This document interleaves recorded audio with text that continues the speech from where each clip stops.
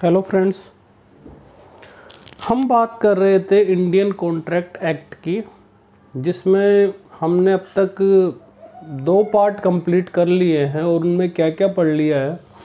पढ़ लिया है कि ऑफ़र क्या होता है एक्सेप्टेंस क्या होता है, उन दोनों का कम्युनिकेशन कम्युनिकेशन ऑफ़र एक्सेप्टेंस का कब कंप्लीट होता है, उसके बाद हमने पढ़ा था। Revocation of offer and acceptance then valid contract के लिए इसेंशियल्स क्या क्या चीज़ें होती है, उसके बाद types of contract on the basis of enforceability performance और फॉर्मेशन ये सब हमने क्या है लास्ट दो वीडियो में कंप्लीट कर लिया है। आज हम बात करेंगे कंसीडरेशन की। कंसीडरेशन क्या होता है, और जो वैलिड कॉन्ट्रैक्ट के इसेंशियल पार्ट थे कंपिटेंट पार्टीज़ थी उसके अलावा जो फ्री अस फ्री कंसेंट कौन सी नहीं होती है कंसेंट क्या होती है, उसके बारे में आज हम पढ़ेंगे और कोशिश करेंगे इसको यहीं पे आज हम कंप्लीट करने की। तो देखिए कंसीडरेशन दिया हुआ है सेक्शन टू के डी में सब सेक्शन डी में दिया हुआ है। कंसीडरेशन होता क्या है? सबसे पहले समझने की कोशिश करेंगे। जैसे हमने ऑफ़र पढ़ा था ऑफ़र में क्या हुआ था कि एक पर्सन दूसरे पर्सन को क्या बोलता है कि कुछ करने के लिए कहता है या फिर उसको रोकता है कुछ करने के लिए? कुछ करने के लिए कहता है या फिर रोकता है? वो कौन होता है? वो होता है ऑफरर कौन होता है? ऑफरर जो जो चीज़ क्या है? बेच रहा था। जैसे हमने बात की थी कि वो घर बेच रहा था तो उसने क्या ऑफ़र किया था? या फिर मैरिज शादी के लिए ऑफ़र किया था तो ऑफ़र था। या फिर रोक रहा था किस चीज़ के लिए?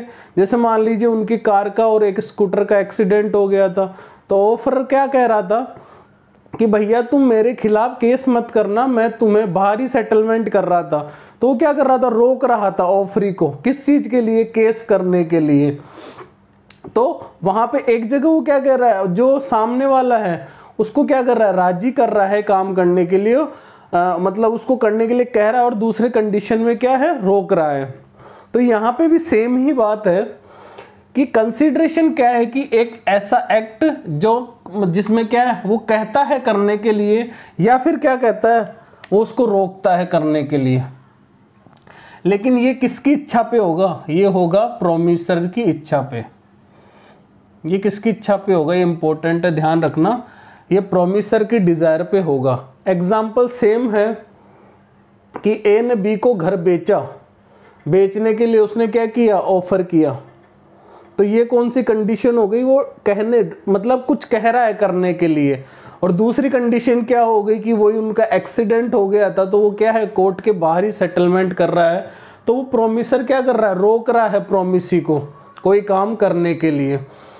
तो ये कंसीडर कंसीडरेशन का मतलब क्या होता है कि एक मतलब कुछ एक्सचेंज करना है। अगर ए बी को कुछ देगा, जैसे ए ने बी को क्या किया? घर दिया। तो बी ने ए को क्या किया? उसके बदले में कुछ रुपए दिए। कंसीडरेशन क्या है? कि जैसे मान लीजिए ए है और बी है। तो ए ने बी को क्या है? घर बेचा। तो बी के पास क्या आ गया? घर आ गया। और बी ने ए को इसके बदले में क्या दे दिया रुपीस दे दिए, दस लाख रुपए। तो बी ने ए को क्या कर दिया? रुपए दे दिए। तो कुछ क्या है? ए ने बी को कुछ दिया और बी ने कुछ ए को दिया। इसको क्या कहते हैं? समथिंग इन रिटर्न मतलब एक दूसरे को बदले में कुछ देना है। कंसीडरेशन का मतलब यही है कि एक के बदले में दूसरे ए बी को कुछ देगा बी ए को कुछ देगा। वही क्या है? कंसिडरेशन है। ये कैसे हो सकता है? पास्ट प्रेजेंट और फ्यूचर हो सकता है। Present future executed contract grocer ने क्या किया था? शुगर सेल की थी। ठीक है तो वो एग्जीक्यूटेड वो तो क्या हो गया? प्रेजेंट हो गया कंसिडरेशन ग्रोसर ने शुगर सेल की, वही ये वाला एग्जांपल ले लीजिए कि ए ने बी को घर बेचा तो बी ने ए को क्या है? रुपए दिए। तो ये कैसा हो गया? ये प्रेजेंट हो गया कंसिडरेशन बी के लिए कंसिडरेशन क्या है? हाउस ए के कंसिडरेशन क्या है? Money future consideration executory contract A ने बी को क्या किया था? ए ने बी को क्या किया था? शुगर बेची थी। किस पे? क्रेडिट पे। बी ने को अभी तक कुछ दिया नहीं है तो ये फ्यूचर कंसिडरेशन हो गया। पास्ट पास्ट सेम है। ए ने बी को कुछ दिया, या बी ने ए को कुछ दिया। ए ने कहा कि मैं उसको प्रॉमिस करता है बाद में कुछ पे करने के लिए। तो ये पास्ट कंसिडरेशन तो कंसिडरेशन पास्ट प्रेजेंट और फ्यूचर तीनों टाइप्स के हो सकते हैं। इसकी हर लाइन पे क्वेश्चन बनता है। कंसिडरेशन की जो अपने सात पॉइंट है, सातों पॉइंट पे क्वेश्चन बनता है तो ये आपको ध्यान रखना है। इसमें हर पॉइंट पे क्वेश्चन बनता है। तो कंसिडरेशन कैसा हो सकता है? एग्जीक्यूटेड एग्जीक्यूटरी या फिर उसको हम कह सकते हैं प्रेजेंट पास्ट और फ्यूचर तीनों तरह का हो सकता है। एडुकेट हो सकता है इनएडुकेट हो सकता है। इसको समझना। एडुकेट का मतलब तो यह है कि ए ने बी को घर बेचा कितने में? दस लाख रुपए में। उस घर की कीमत मार्केट में भी कितनी थी? दस लाख रुपए में थी ये तो क्या हो गया? एडुकेट कंसिडरेशन इन एडुकेट में क्या हुआ? घर दस लाख था इसने कहा मैं तो पाँच लाख में बेच दिया बी को। तो ये इनएडुकेट कंसिडरेशन ऐसा क्यों किया? भाई मर्ज़ी है उसकी। घर मेरा तो मेरी मर्ज़ी है मैं कितने में बेचूं? तो उसने बेच दिया उसको पाँच लाख में। तो ये क्या हो गया? इनएडुकेट एडुकेट का क्या मतलब हुआ कि आ, जितनी उसकी वैल्यू है उतने में ही अगर उसको बेचा तो एडुकेट और अगर उससे कम वैल्यू में बेचा तो इनएडुकेट कंसिडरेशन कंसिडरेशन कैसा नहीं होना चाहिए? अनलॉफुल नहीं होना चाहिए इमोरल नहीं होना चाहिए पब्लिक पॉलिसी के अपोज्ड नहीं होना चाहिए। जैसे ड्रग्स की सप्लाई है तो उसके बदले में कुछ मिल रहा है लेकिन वो क्या है? वो क्या है? अनलॉफुल है। या फिर हमने पहले भी पढ़ा था, कि इलीगल कॉन्ट्रैक्ट जैसे मान लो किसी को सुपारी दे दी मारने के लिए तो वो भी क्या है? अनलॉफुल कॉन्ट्रैक्ट है। Oppose to public policy immoral contract किसी शत्रु देश के साथ, जैसे पाकिस्तान के साथ कोई ऐसा व्यापार करना जो नेशनल इंटरेस्ट में नहीं हो तो वो क्या है? इमोरल और पब्लिक पॉलिसी के अपोस्ट है या उसको अनलॉफुल भी बोल सकते हैं तो कंसिडरेशन ऐसा नहीं होना चाहिए। नेक्स्ट पॉइंट पढ़ना। Consideration which promisor is legally bound to perform the duty ये क्या है? लीगली बाउंड है। ड्यूटी परफॉर्म करने के लिए तो इसको कंसीडरेशन नहीं मानते हैं। इसका एग्ज़ाम्पल ले लीजिए विटनेस मान लीजिए आप किसी के आई विटनेस है। आपने कुछ ऐसा होता हुआ देखा है। ठीक है? और उसके लिए आपको क्या करना है? आपको गवाही देनी है, आप उसके विटनेस है। तो इस कंडीशन में आपको है ना, जो अगर कोई पैसे कहता है कि आप विटनेस बन जाइए, मैं आपको पैसे देता हूँ। और अगर फिर वो आपको पैसे नहीं देता है तो आप उस पर क्लेम नहीं कर सकते, क्योंकि ये आपकी क्या है? लीगली बाउंड ड्यूटी है करने के लिए। आपको ये ड्यूटी परफॉर्म करनी है। ये लीगली आप पे एप्लीकेबल है। तो इसको हम क्या है? कंसीडरेशन नहीं मानेंगे। अगर कोई विटनेस है विटनेस को हम क्या है? कोई पैसे दे रहा है। पैसे दे रहा फिर वो मना कर देता है तो उसको हम क्या है वो आ, वो लीगली उस पर क्या क्लेम नहीं कर सकता क्योंकि ये उसकी ड्यूटी है। इसको समझना पॉइंट को अगर समझ में नहीं आया तो दोबारा से सुन लीजिए कि कोई विटनेस है उसने कुछ भी होते हुए उसने कुछ रोड एक्सीडेंट होते हुए देखा है।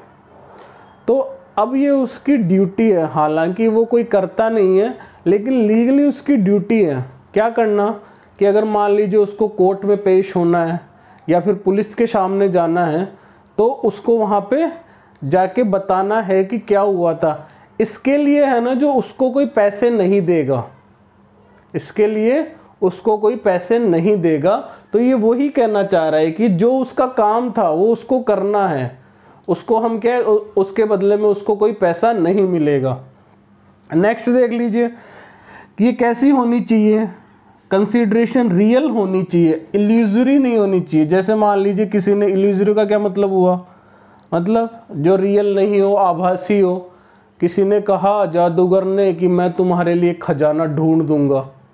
तो क्या रियल है? रियल नहीं है। कैसी है? आभासी है। तो कंसिडरेशन कैसा होना चाहिए रियल में? जैसे यहाँ पे देखिए, इसने इसको घर दिया, इसने इसको क्या है, पैसे दिए। तो कंसिडरेशन कैसा हो गया? रियल हो गया। ये इल्यूजरी नहीं हो सकता। और समथिंग इन रिटर्न बात कर चुके हैं। ए ने बी को कुछ दिया बी ने ए को कुछ दिया। तो कंसिडरेशन का मतलब क्या है? कि कोई भी चीज़ का एक्सचेंज हो रहा है। ए बी को कुछ दे रहा है और बी ए को उसके बदले में कुछ दे रहा है। तो ये होता है कंसिडरेशन अब इसका एक जनरल रूल है। कि नो कंसिडरेशन नो कॉन्ट्रैक्ट ये जनरल रूल है। मतलब अगर कंसीडरेशन नहीं है तो कॉन्ट्रैक्ट भी नहीं बनेगा। अगर कंसीडरेशन नहीं है तो कॉन्ट्रैक्ट भी नहीं बनेगा। इसके कुछ एक्सेप्शंस है, वो आपको याद करने हैं कंप्लीटली वहाँ से क्वेश्चन बनता है, ये क्या जनरल रूल है। जनरल रूल के क्या होते हैं? एक्सेप्शंस होते हैं। एक्सेप्शंस आगे पढ़ लेंगे। अब इसमें, इसका एग्ज़ाम्पल देख लें। नो चलिए, आगे आगे देखते हैं इसका एग्ज़ाम्पल कि नो कंसिडरेशन नो कॉन्ट्रैक्ट का क्या मतलब होता है। इसको आगे समझने की कोशिश करते हैं। देखिए जनरल रूल क्या है कि अगर कंसिडरेशन नहीं है तो कॉन्ट्रैक्ट भी नहीं बनेगा। ठीक है, ये जनरल रूल है। इसका एग्ज़ाम्पल देख लीजिए कि ए ने बी को प्रॉमिस किया कि मैं तुम्हें सौ रुपये पे करूँगा। कर दिया प्रॉमिस अब बी क्या ए पे क्लेम कर सकता है कि उसको फोर्स कर सकता है कि तुम मुझे सौ रुपये पे करो? किस बेसिस पे करेगा? कुछ कंसिडरेशन ही नहीं है। बी ने ए को कुछ नहीं दिया। कुछ रिटर्न में दिया है क्या? बी ने ए को नहीं दिया। ए केवल प्रॉमिस कर रहा है तो यहाँ पे कंसिडरेशन नहीं है तो यहाँ पे कोई कॉन्ट्रैक्ट नहीं बनेगा। ध्यान से सुनना, जहाँ कंसिडरेशन नहीं है, जहाँ रिटर्न में कुछ नहीं हो रहा जैसे अभी पहले पढ़ा था कि ए ने बी को घर दिया था तो बी ने ए को क्या है, दस लाख रुपए दिए थे तो वहाँ कंसिडरेशन था। यहाँ कोई कंसिडरेशन नहीं है तो यहाँ पे कोई कॉन्ट्रैक्ट नहीं बनेगा। ये जनरल रूल है, ध्यान रखना। इसके कुछ एक्सेप्शन हैं, वो है सेक्शन 25 में। किसमें? सेक्शन 25 में एक्सेप्शन है। क्या एक्सेप्शन है? कि जहाँ पे कंसिडरेशन नहीं है, फिर भी एनफोर्सिएबल कॉन्ट्रैक्ट है। मतलब वैलिड कॉन्ट्रैक्ट बनेगा। कंसिडरेशन नहीं है, फिर भी वैलिड कॉन्ट्रैक्ट बनेगा। जबकि जनरल रूल क्या कह रहा है? जहाँ कंसिडरेशन नहीं है, वहाँ कोई कॉन्ट्रैक्ट नहीं बनता है। लेकिन सेक्शन 25 क्या कहता है? कि कुछ ऐसी कंडीशंस है जहाँ पे कंसिडरेशन नहीं होने के बावजूद भी कॉन्ट्रैक्ट बनेगा, वो कंडीशन है पाँच कंडीशन जो आपको रटनी है। क्वेश्चन आएगा यहाँ से। क्या है उसमें? पहली कंडीशन देखिए कि कोई भी एग्रीमेंट है, वो कैसा होना चाहिए? रिटर्न में होना चाहिए रजिस्टर्ड होना चाहिए और नेचुरल लव एंड अफेक्शन से रिलेटेड होना चाहिए। तो इस कंडीशन में जो कॉन्ट्रैक्ट बनेगा, वो वैलिड कॉन्ट्रैक्ट होगा। देखिए एग्जांपल ये अमिताभ बच्चन है ये अमिताभ है, ये अभिषेक है। तो अमिताभ क्या है? फादर है, अभिषेक क्या है? सन है। तो इसने अमिताभ ने क्या किया अभिषेक को? कि मैं तुम्हें दस हज़ार रुपये पर मंथ दूँगा। और ये इसने क्या कर लिया? रिटर्न में कर रिटर्न में लिख के इसको रजिस्टर्ड करवा लिया है। तो क्या नेचुरल लव एंड अफेक्शन का केस है? बिल्कुल ये नेचुरल लव एंड अफेक्शन का केस है। फादर सन का है। हस्बैंड वाइफ का है, ठीक है? फादर मदर का है, ये सब क्या है? लव एंड अफेक्शंस के केस है। तो यहाँ पे जो कॉन्ट्रैक्ट बनेगा, वो वैलिड कॉन्ट्रैक्ट बनेगा। हालाँकि अभिषेक रिटर्न में अमिताभ को कुछ नहीं दे रहा है, लेकिन अमिताभ क्या है? अभिषेक को दस हज़ार रुपए दे रहा है। और ये क्या है? ये लव एंड अफेक्शन का केस है तो वैसे एज पर जनरल रूल यहाँ पे कॉन्ट्रैक्ट नहीं बनना चाहिए, लेकिन यहाँ यहाँ पे कॉन्ट्रैक्ट बना है। और कौन सा कॉन्ट्रैक्ट वैलिड कॉन्ट्रैक्ट बना है, जिसको कॉन्ट्रैक्ट कहते हैं। क्यों? क्योंकि नेचुरल लव एंड अफेक्शन का केस है। तो पहला ध्यान रखना, किस कंडीशन में? नेचुरल लव एंड अफेक्शन की कंडीशन में क्या होगा? कंसिडरेशन के विदाउट भी क्या होगा? कॉन्ट्रैक्ट बनेगा। दूसरा compensation for services voluntary rendered आपने अपनी इच्छा से कोई सर्विस दी है? जैसे एग्जांपल ले लीजिए कि राहुल है, ये मैं हूँ। ये मैं हूँ कौन? अभिनंदन अग्रवाल, ठीक है? तो इन, मेरा क्या पर्स खो गया तो इसको राहुल को मिल गया। तो राहुल ने मुझे पर्स दिया तो मैंने कहा कि मैं तुम्हें सौ रुपये दूँगा। राहुल ने मुझे पर्स दिया तो मैंने कहा, मैं उसको सौ रुपये दूँगा। क्या यहाँ पे कोई कंसिड्रेशन आपको हो गया हाँ है। उसने उसने आपको पर्स दिया है ना? नहीं नहीं, ये पर्स किसका था? ये मेरा था। ये इसका थोड़ी था। ये पर्स मेरा था जो इसने मुझे लौटाया है। तो यहाँ पे कोई कंसीडरेशन नहीं है। राहुल ने अपनी चीज़ मुझे थोड़ी दी है। उन्होंने तो क्या किया? मेरी जो चीज़ थी मुझे दी है। तो यहाँ पे ये क्या हो गई? वॉलेंट्री सर्विस हो गई। राहुल को पर्स मिला, उसने मुझे लौटा दिया। अगर वो नहीं लौटाता तो नहीं लौटाता। तो इस कंडीशन में मैंने अगर उसको प्रॉमिस किया है कि मैं उसको सौ रुपये दूँगा तो अगर मैं उसको सौ रुपये नहीं देता हूँ तो वो मेरे पे क्या कर सकता है? मुझे फोर्स कर सकता है, मुझे कोर्ट में ले जा सकता है। तो यहाँ पे भी ये कॉन्ट्रैक्ट बनेगा। कौन सा बनेगा? वैलिड कॉन्ट्रैक्ट तो नेचुरल लव एंड अफेक्शन दूसरा compensation for service voluntary rendered तीसरा promise to pay time bar डेप्ट राहुल ने क्या किया? मुझसे दस हज़ार रुपये उधार लिए थे, लेकिन एक साल में देने थे नहीं दिए एग्रीमेंट था एक साल का नहीं दिए। एक साल के बाद राहुल ने प्रॉमिस किया रिटर्न में कि वो मुझे दस हज़ार रुपये पे करेगा या जितना भी। वाट एवर अमाउंट जो भी हो दस हज़ार हो सकता है पाँच हज़ार हो सकता है दो हज़ार हो सकता है उन्होंने मुझे क्या कर लिया? दोबारा एक रिटर्न रिटर्न में लिख के दे दिया मुझे प्रॉमिस कर दिया कि मैं आपको दस हज़ार रुपये दूँगा। तो ये कंडीशन क्या हो गई? यहाँ पे ये लैप्स हो चुका था।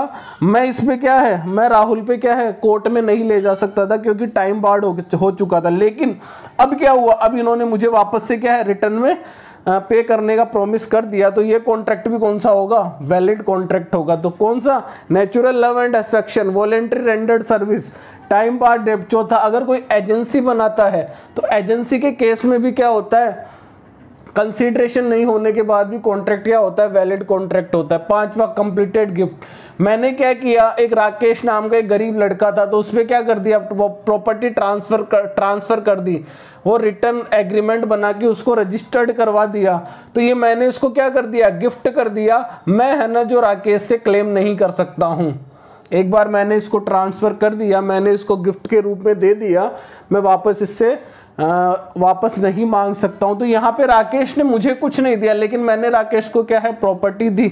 लेकिन यहाँ पे कंसीडरेशन नहीं होने के बावजूद भी क्या है कॉन्ट्रैक्ट बना है, और कौन सा कॉन्ट्रैक्ट बना है? वैलिड कॉन्ट्रैक्ट बना है।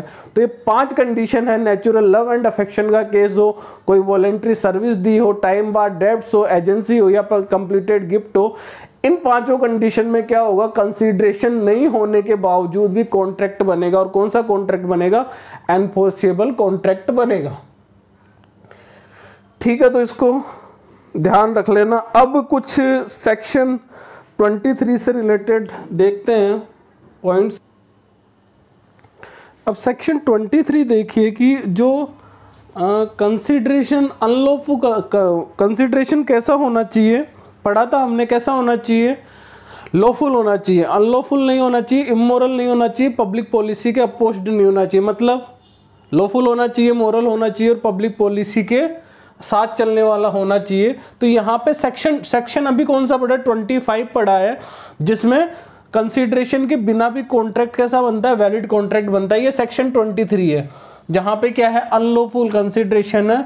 और जब ऑब्जेक्ट ऑब्जेक्ट का क्या मतलब हो रहा है कि जिस चीज़ का हम एक्सचेंज कर रहे हैं, अगर वो या फिर कंसिडरेशन है, वो अगर अनलॉफुल है तो कॉन्ट्रैक्ट कैसा हो जाएगा? वॉइड हो जाएगा। ये ध्यान रख लेना। कि अगर कंसिडरेशन अनलॉफुल है तो कॉन्ट्रैक्ट कैसा होगा? वॉइड होगा। कंसिडरेशन नहीं है तो कोई कॉन्ट्रैक्ट नहीं होगा। होगा तो कौन सी कंडीशन में होगा? सेक्शन 25 में जो पाँच कंडीशन है, उनमें कैसा होगा? वैलिड कॉन्ट्रैक्ट होगा। अब देखिए, पहला देखिए फॉरबिडन बाई लो लो ने जिसको मना कर रखा है। जैसे कि ड्रग्स की सप्लाई करना। क्या लो ने मना कर रखा है? कर रखा है भाई। किसी की सुपारी देना। लो ने मना कर रखा है कि भाई, मैं तुम्हें दस हज़ार रुपये दूँगा, तुम इसको मार दो। या तुम उसकी शादी तोड़वा दो, ये ऐसे ही है फॉरबिडन बाई लो तो ये क्या है? अनलॉफुल कंसिडरेशन कॉन्ट्रैक्ट कैसा हो जाएगा? Void defeat provision by other law कोई दूसरे लो के प्रोविज़न को अगर मान ले कि क्या करता हो, ये डिफिट करता हो, जैसे कि मैरिज एक्ट है। ठीक है? वहाँ बॉय की एज कितनी है? ट्वेंटी वन गर्ल की कितनी है? एट्टीन ये मैरिज की एज है ना? यहाँ पे यहाँ पे क्या है एज कॉन्ट्रैक्ट एक्ट में क्या है? 18 की है। कॉन्ट्रैक्ट एक्ट में क्या है? 18 साल का जो व्यक्ति होता है, उसको क्या मेजर कहेंगे और वो कॉन्ट्रैक्ट बना सकता है। तो यहाँ ये क्या कर रहा है? यहाँ पे ये 18 साल, ये क्या है? लड़का 18 साल का शादी नहीं कर सकता है, क्योंकि 21 की एक्ट किसमें दी गई है? मैरिज एक्ट में दी गई है। तो ये क्या है कि यहाँ पे 18 साल की अगर शादी कर लेगा तो ये क्या कर देगा कि किसी अदर लो मैरिज एक्ट के क्या प्रोविज़न को डिफीट कर दी गया। तो इस कंडीशन में भी क्या हो जाएगा? जो भी कॉन्ट्रैक्ट बनेगा वॉइड हो जाएगा। आया समझ में? सिंपल सा समझना है कि बॉय की 21 साल की उम्र है शादी करने की मैरिज एक्ट में। लेकिन इसमें कॉन्ट्रैक्ट एक्ट में कितने कह रहा है कि 18 साल का है तो वो कोई भी कॉन्ट्रैक्ट बना सकता है। तो ये अगर इसने बना लिया तो वो कॉन्ट्रैक्ट वॉइड हो जाएगा, क्योंकि मैरिज एक्ट एप्लीकेबल होगा उस कंडीशन में मैरिज हो रही है तो। फ्रॉडुलेंट पर्पस वही है, आजकल कई कोऑपरेटिव सोसाइटी बनती है, दस परसेंट इंटरेस्ट दे रही है, और जो अपने शेड्यूल्ड बैंक है, वो पाँच परसेंट इंटरेस्ट दे रहे हैं, फिर वो भाग जाते हैं, या फिर फ्रॉडुलेंट पर्पज ऐसे भी हो सकता है ना, कि लाओ भाई, एक लाख रुपए दे दो। ठीक है? पाँच महीने में कितने कर देंगे? पाँच लाख कर देंगे। मतलब ऐसा ही कुछ टाइप है जो बनाई किसके लिए हो? फ्रॉड करने के लिए बनाई गई हो। इंजरी टू पर्सन और प्रॉपर्टी इंजरी टू पर्सन तो वो ये सुपारी देना। प्रॉपर्टी कि मान लीजिए किसी का कोई बुक्स है, या फिर कोई भी ब्रांड है, ठीक है? तो इनका क्या होता है? कॉपीराइट होता है। तो उसका क्या है कॉपी करके कोई चीज़, जैसे डुप्लीकेट चीज़ बेचना। समझ रहे हैं? जैसे मान लीजिए कोई बुक्स है, किसी की कॉपीराइट है तो उसकी वैसी की वैसी कॉपी बना के बेचना या कोई ब्रांड है, जैसे मान लीजिए कोई भी ब्रांड ले लीजिए, जैसे मान लीजिए एल एल जी ले लीजिए तो उसके क्या डुप्लीकेट प्रोडक्ट्स प्रोडक्ट बेचना? तो वो क्या है? अनलॉफुल कंसिडरेशन है तो कैसा कॉन्ट्रैक्ट हो जाएगा वॉइड हो जाएगा? और पांचवा इमोरल और अपोज टू पब्लिक पॉलिसी वही सेम बात।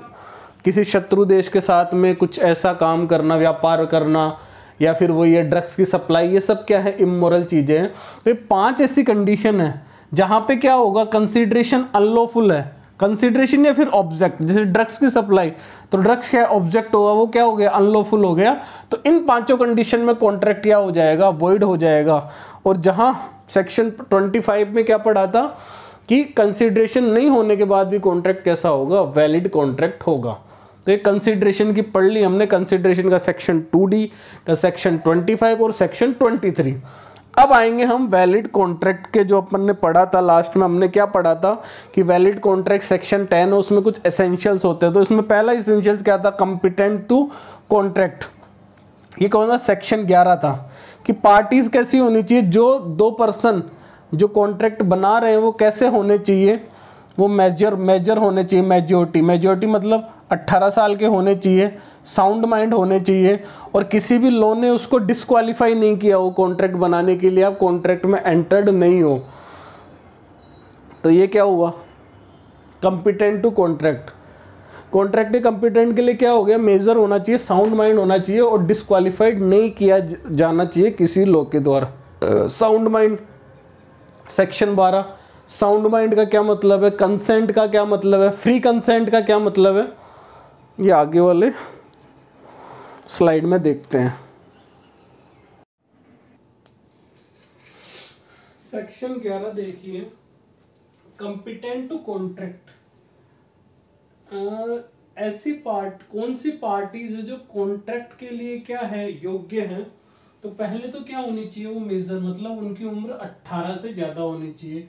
दूसरा साउंड माइंड होना चाहिए और तीसरा किसी लो के द्वारा वो डिस्कालीफाई तो नहीं की गई कि वो कॉन्ट्रैक्ट बना ही नहीं सकती है। ये तीन चीज़ें, ये तीन तरह के जो पर्सन होंगे वो क्या है?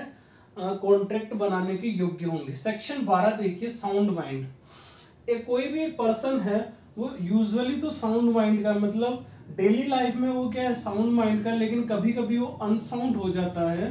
तो इस कंडीशन में क्या होगा? जब वो साउंड माइंड का है, तब तो वो एग्रीमेंट बना पाएगा और जब वो अनसाउंड का है, तब नहीं बना पाएगा। इसी तरह, कोई पर्सन जो यूजुअली अनसाउंड माइंड का है तो वो एग्रीमेंट नहीं बना पाएगा और साउंड ओकेजनली साउंड माइंड का है तो भी वो एग्रीमेंट क्या है, बना पाएगा। इसका एग्ज़ाम्पल है ड्रंक मैन या फिर वुमेन भी हो सकती है वो, ठीक है? तो ये क्या है कि जिस दिन पिया हुआ है, उस दिन क्या है अनसाउंड माइंड है, जो क्या है ओकेजनली है। तो इस कंडीशन में कॉन्ट्रैक्ट एग्रीमेंट नहीं बना पाएगा, जबकि कोई असाइलम पेशेंट है, ये जनरली अनसाउंड अनसाउंड माइंड का होता है, लेकिन ये कभी कभी साउंड माइंड का होता है तो इस कंडीशन में ये कॉन्ट्रैक्ट एग्रीमेंट बना पाएगा। तो यहाँ पे आपको सिर्फ़ एक ही बात ध्यान रखनी है, चाहे वो यूजुअली हो ओकेजनली हो, कोई फ़र्क नहीं पड़ता है। अगर पर्सन साउंड माइंड है तो तो कॉन्ट्रैक्ट बना लेगा, अगर अनसाउंड माइंड है तो कॉन्ट्रैक्ट नहीं बनाएगा। इसको क्या घुमा के पूछ लिया जाए तो हम क्या कंफ्यूजन की इस स्टेज में आ जाएँगे कि ऐसा क्या हो गया। तो हमें बस एक ही बात ध्यान रखनी है, क्या साउंड माइंड मतलब कॉन्ट्रैक्ट बना सकता है। सेक्शन तेरह देखिए कंसेंट कंसेंट का क्या मतलब है कि एक या उससे ज़्यादा पर्सन एग्री हो। किस चीज़ के लिए? एक ही चीज़ के लिए same thing in same sense ये बात ध्यान रखना कि अगर जो दोनों पार्टीज़ है, वो सेम सेंस में सेम थिंग के बारे में एग्री हो जाए तो उसे कंसेंट कहते हैं। ये आगे अपने मिस्टेक में काम आएगा। मिस्टेक में पता चलेगा कि अगर दो पार्टीज़ है, उनका सब्जेक्ट मैटर अलग है, या फिर वो सेम सेंस में सेम थिंग पे अगर एग्री नहीं हो रही है तो उस कंडीशन में कॉन्ट्रैक्ट क्या हो जाता है? वॉइड हो जाता है। तो ये आगे हम पढ़ लेंगे। ये बात ध्यान रखना कि same thing same sense agree हो गए तो कंसेंट है अदरवाइज़ वो कंसेंट नहीं है।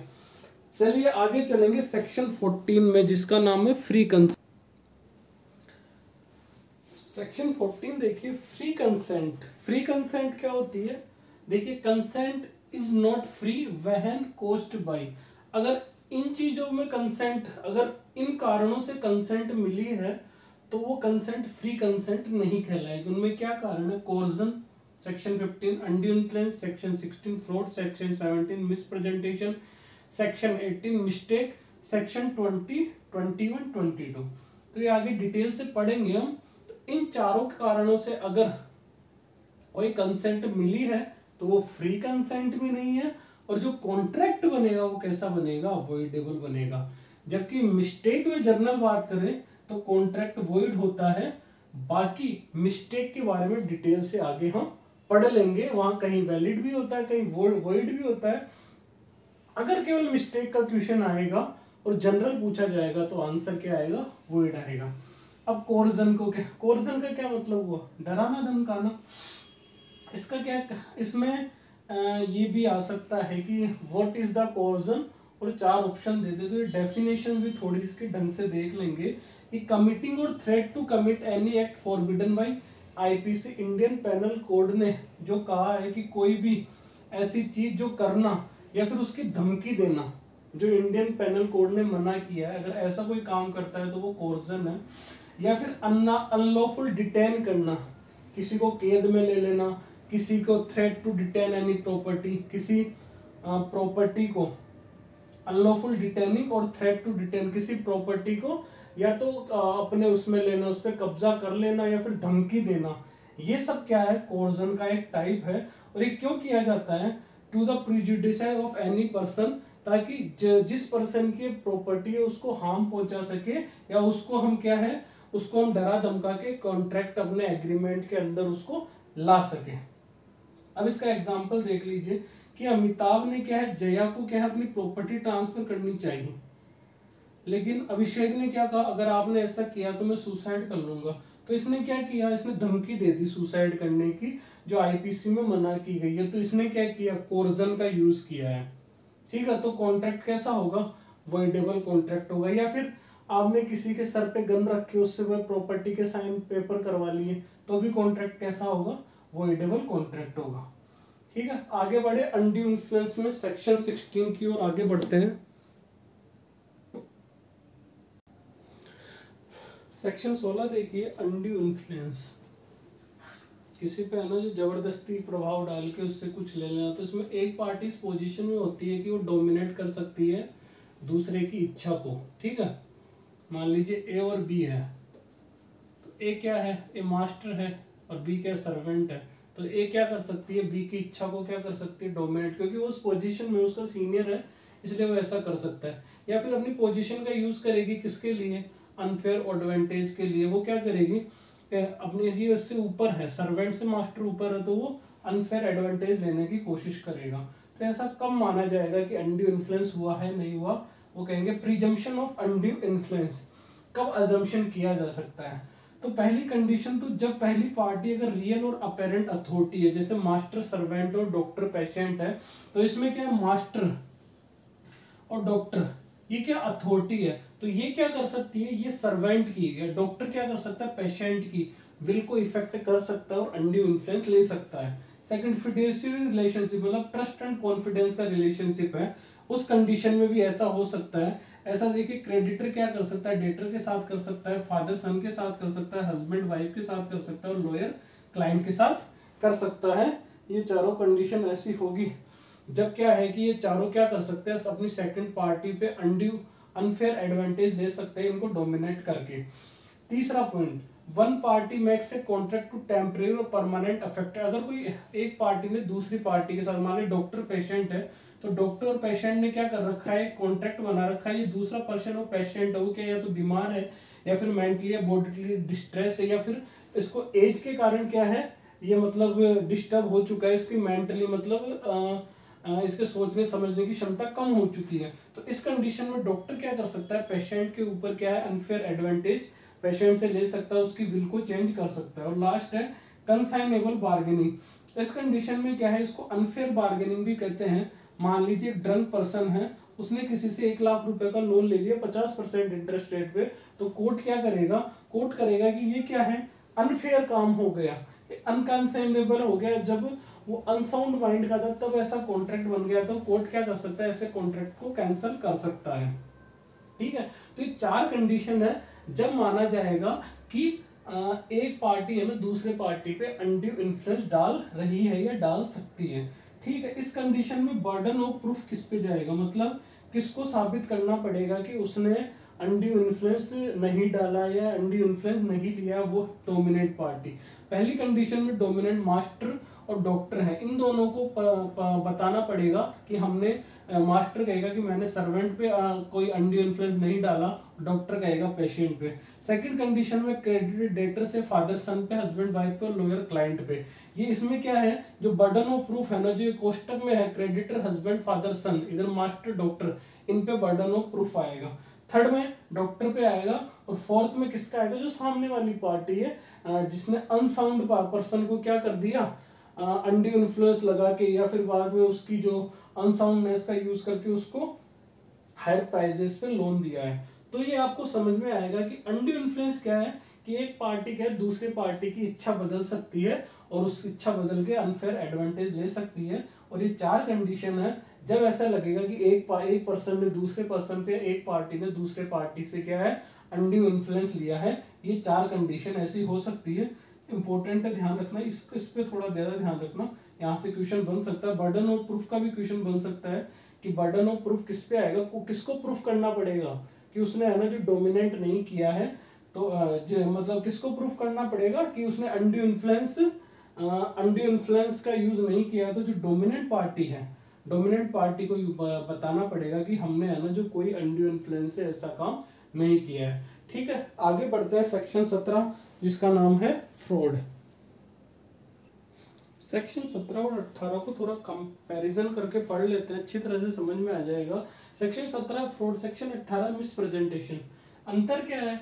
इसमें तो क्या फ्रॉड का मतलब तो क्या जानबूझ के कुछ गलत बोल देना, कुछ झूठ कर देना, है ना? किसी के साथ धोखाधड़ी कर देना। लेकिन मिस प्रेजेंटेशन में क्या है? ये अनइंटेंसली होता है। मतलब जानबूझ के उसने ऐसा नहीं किया। इसमें एक्टिव कंसेलमेंट मतलब जानबूझ के वो चीज़ें छुपाएगा फ्रॉड करने के लिए, इसमें ऐसा नहीं होता है।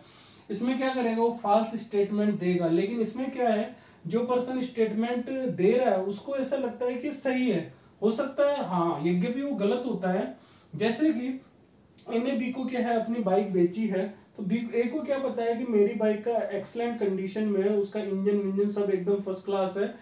लेकिन उसकी बाइक का क्या इंजन खराब है?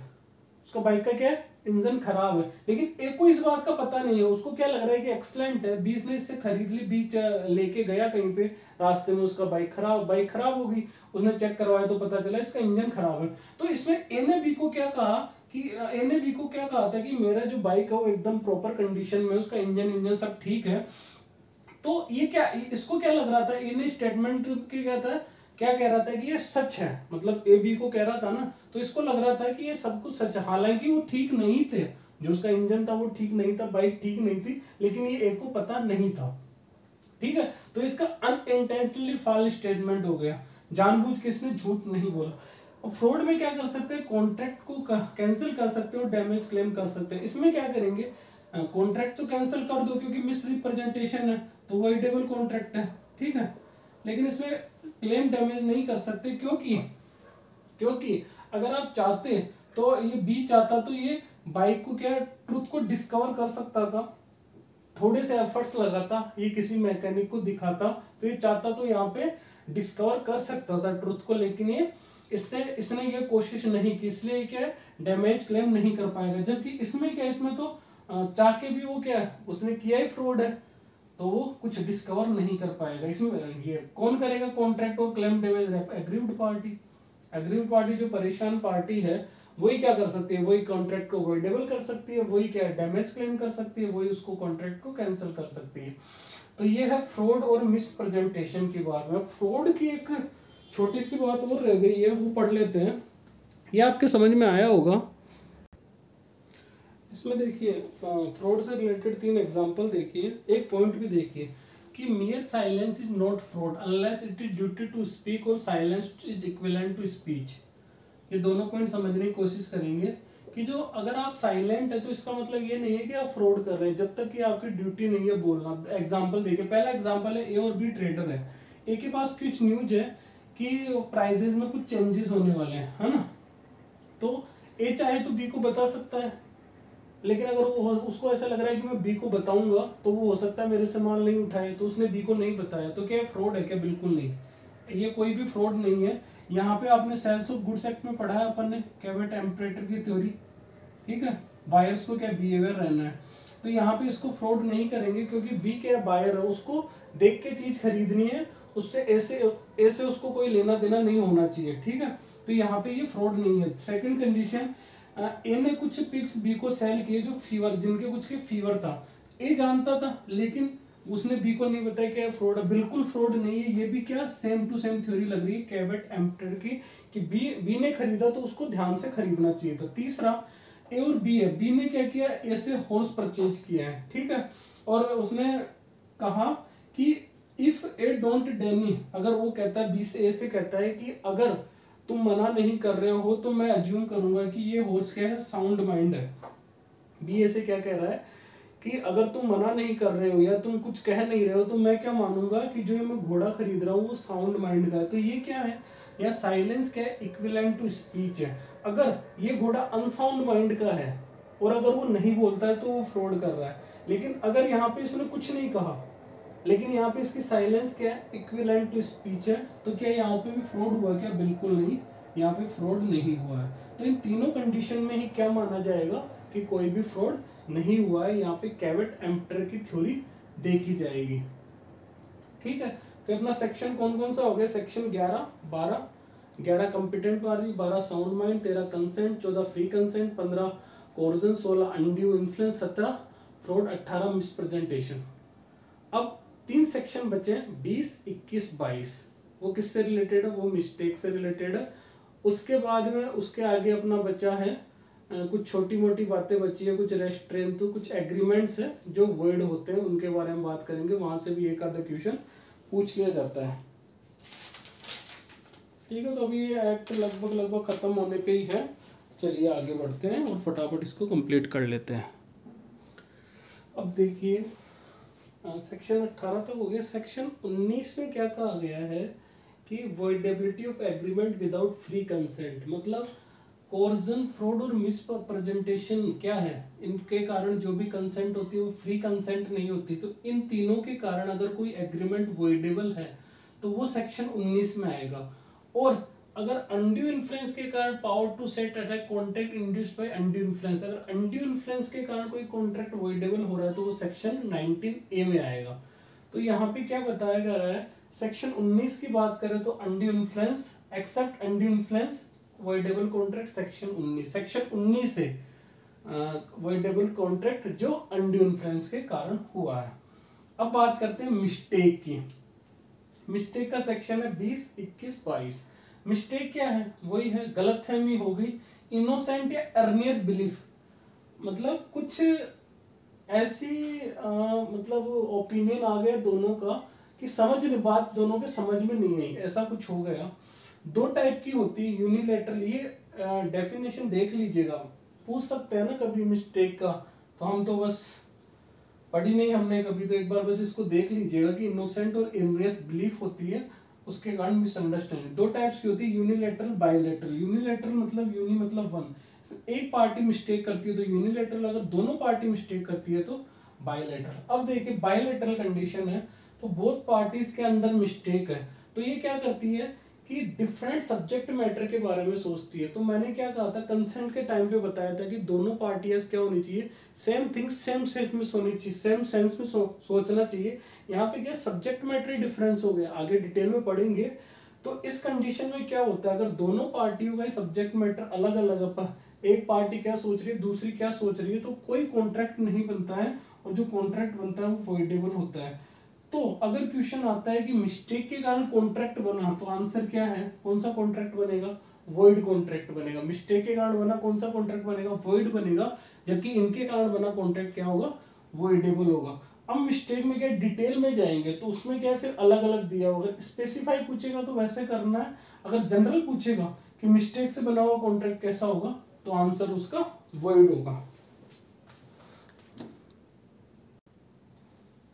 अब मिस्टेक पढ़ लिया मिस्टेक क्या होती है? दो टाइप्स की होती है। अब सबसे इंपॉर्टेंट बात इसमें होगी कि मिस्टेक का क्या तो मिस्टेक ऑफ़ फैक्ट होता है, जिसको मैटर ऑफ़ फैक्ट कहते हैं, कहता है मिस्टेक ऑफ़ लॉ तो इसमें से क्वेश्चन आने के बहुत ज़्यादा चांसेस है ना मैटर ऑफ़ फैक्ट कहीं पे दिख जाए। इस कंडीशन में क्या होगा? एक तो यूनिलेटरल मिस्टेक होगी मैटर ऑफ़ फैक्ट की, या मिस्टेक ऑफ़ फैक्ट की। एक बाईलेटरल होगी मिस्टेक मिस्टेक ऑफ़ फैक्ट की, या मैटर ऑफ़ फैक्ट की, ठीक है? तो अगर यूनिलेटरल हो तो वो सेक्शन 22 में बायलेटरल सेक्शन 20 में। यहाँ पे यूनिलेटरल में कॉन्ट्रैक्ट वैलिड रहेगा बायलेटरल में कॉन्ट्रैक्ट वॉइड रहेगा। देखो कैसे। यूनिलेटरल में क्या एक पार्टी अंडर मिस्टेक है। मैं गया, मैंने दुकान से क्या है? सरसों का तेल उठा लिया, ग्रो, उसको दिया शॉपकीपर को लिया, पैसे दे के आ गए जबकि मुझे क्या लाना था? मूंगफली का तेल। या फिर उल्टा ले लीजिए। मैं लेने सरसों का तेल गया था, ले मैं मूंगफली का आया। तो ये यूनिलेटरल मिस्टेक है। मैं लेने अरहर की दाल लगाया था, ले मूंग की दाल आया, उसमें सामने वाले कोई गलती नहीं है। मैंने उससे तो पूछा नहीं, मैंने तो उठाया, उसको दिया, उसने तोला, पैसे लिए और मुझसे, मुझे दाल दे दी। तो इस कंडीशन में क्या होता है? जो होता है ना कॉन्ट्रैक्ट वो वैलिड कॉन्ट्रैक्ट होता है। जबकि बायोलेटरल मिस्टेक में क्या होगा? अभी बताया था कि ए ने बी को बेचनी थी बैलोनो गाड़ी।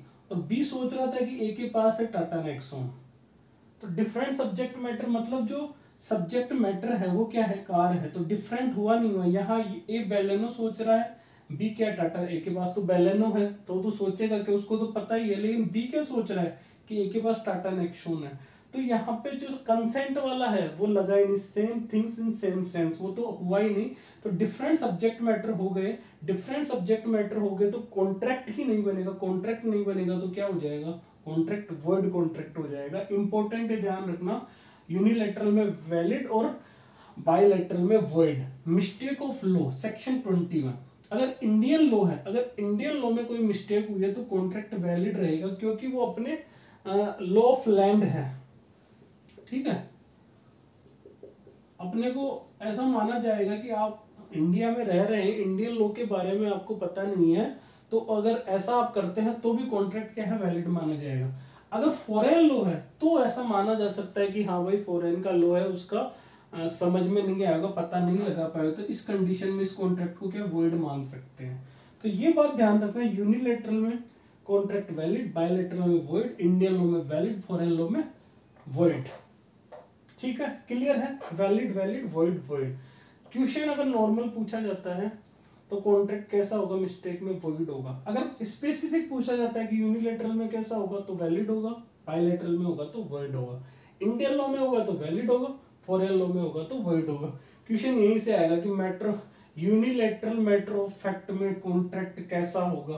Valid uni bilateral matter of fact में या बायलेटरल मिस्टेक ऑफ़ फैक्ट में कॉन्ट्रैक्ट कैसा होगा? वर्ड होगा। ठीक है। चलिए, अब अपनी लास्ट स्लाइड की ओर अपन बढ़ते हैं, जिसमें क्या क्या है restraint of marriage restraint of trade restraint of legal proceeding uncertain agreement wagering agreement ये पाँच तरह की जो चीज़ें वो सब वर्ड होती हैं, इसके कुछ एक्सेप्शन है, उसकी बातें हम करेंगे, फिर ये चैप्टर क्या है कंप्लीट हो जाएगा, आगे वाले पार्ट में हम एमसीक्यू की बात करेंगे। और ये हम लास्ट कॉन्ट्रैक्ट एक्ट की लास्ट स्लाइड की बात कर रहे हैं। इसमें क्या है? इसमें कुछ एग्रीमेंट्स दिए हुए हैं, जिसमें पहला एग्रीमेंट है रेस्टेन ऑफ़ मैरिज, जो कि सेक्शन 26 में दिया हुआ है। रेस्टेन ऑफ़ मैरिज एग्रीमेंट क्या है कि ऐसा एग्रीमेंट बना लेना कि आप किसी फिक्स पर्सन से, आप जैसे जैसे कह दे कि ए है ना, वो जो बी है उससे मैरी नहीं कर सकता है। ऐसा कोई एग्रीमेंट बना लेना। तो ऐसा एग्रीमेंट क्या होगा? वॉइड एग्रीमेंट होगा। ये अपोस्ट टू पब्लिक पॉलिसी है। ये हमने जो वैलिड कॉन्ट्रैक्ट के एसेंशियल थे, उसमें पढ़ा था ना अपोस्ट टू पब्लिक पॉलिसी वहाँ पे भी ये पढ़ा था, जो लोग के द्वारा फॉरबिडन किए हुए हैं।